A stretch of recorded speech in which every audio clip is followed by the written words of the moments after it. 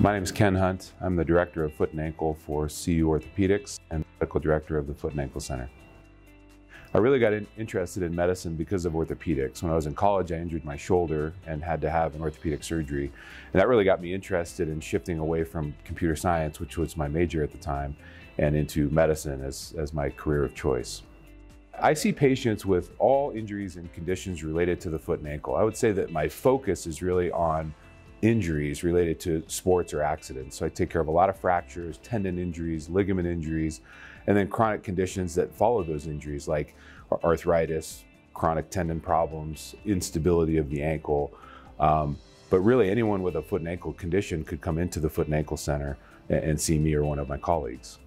When we built the Foot and Ankle Center, I wanted a resource that would allow us to really evaluate patients who have gait abnormalities or running abnormalities that impact their foot and ankle or are impacted by uh, their foot and ankle condition. So the idea is to be able to evaluate uh, the full mechanics of gait. So not just the foot and ankle, but the knees, the hips, and the core. It allows us to give a comprehensive evaluation uh, of a patient's ambulatory mechanics uh, in order to treat the whole patient.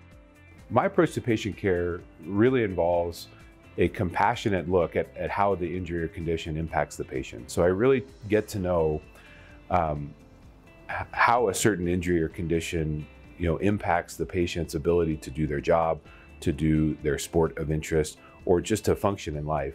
And so I really involve patients in decision making on treatment. So I think it's really um, I think it's really important to understand not only how the injury impacts uh, the patient's ability to uh, to function, but also how a treatment might might alter that and how the treatment itself might impact them.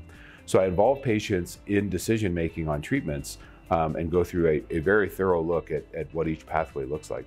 And, and that's really important because the patient's perspective is so critical in, in selecting a treatment path.